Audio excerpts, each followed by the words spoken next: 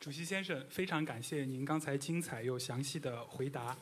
在您的演讲当中，您刚刚也提到了中国现在面临的很多挑战，同时您也指出，改革开放是中国解解决这些挑应对这些挑战的必由之路。同时，您也为中国的未来发展描绘了很美好的蓝图。您提出了中国梦，中国梦就是中国人民都能够拥有呃有一个幸福美好的生活。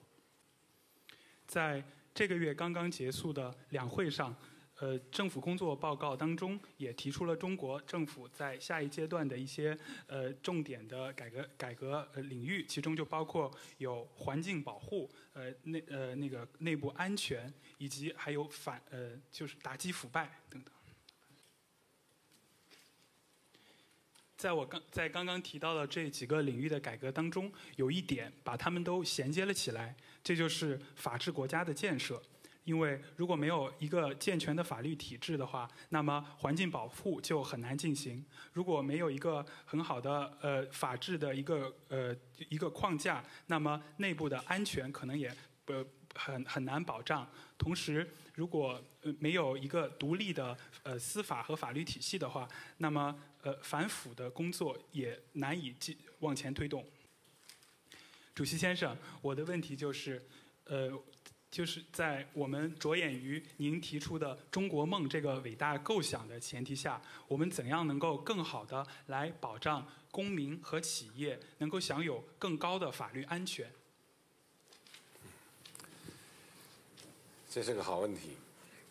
这是现在在 good 发的。刚才我对改革的问题呢，也做了一些这个原则的阐述。呃。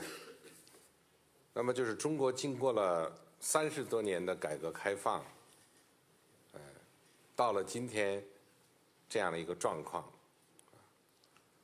我们的话呢，就是树立了一个信心，啊，一个目标，就是中国一定要继续走改革开放的道路。我提出来，改革开放在中国只有进行时，没有完成时。然而，中国的改革开放现在进入了深水区。我们说呢，就是，哎，遇到的都是一些难题啊。这个改革的啊，那种最大公约数的这种利益最大化的改革，呃，差不多都进行完了。啊，现在的改革呢，就是要啃硬骨头了。而且现在的改革也很难是单向突破。牵一发而动全身呢，所以我们现在这个改革呢，就要搞综合改革，那么当前来讲呢，就是很重要的，就是说要搞顶层设计，要提出时间表、路线图。我刚才讲到了，这些就是我们三中全会所做的事情。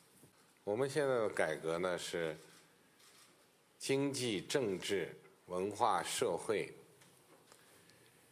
呃，在提出来了一个生态文明建设。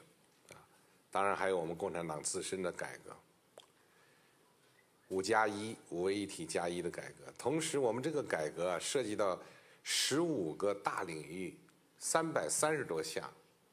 改革的重点当然还是经济。那么经济呢，我们这次有一个亮点，就是提出要让市场在资源配置中起决定性作用。因为最初我们叫做市场起计划经济的辅助作用，后来就要起基础性作用，这次提出起决定性作用，并且更好的发挥政府作用，这是一个很重大的理论上的决定。当然，正像主席讲到的，市场经济就是法治经济，而法治经济呢，它涉及到政治改革、政治体制改革。那么政治体制改革里边呢，我们这就是有包括。司法体制改革这一系列的改革在这些改革呢已经启动了。我举个例子，司法体制领域，我们就是做出了废止劳教制度的决定。那么，在这个营造啊良好的外商的这种投资环境方面，我们在上海呢做了这个呃贸易试验区啊，这个是为今后呃整个的这个外资啊如何能够。啊，准入前的国民待遇和负面清单，营造一个普啊普世的这么一种政策，这些都启动了。所以我相信啊，通过我们的改革，呃，你所提出来的这些问题呢，都会阶段性的，但无疑是向前推进的。谢谢主席的问题。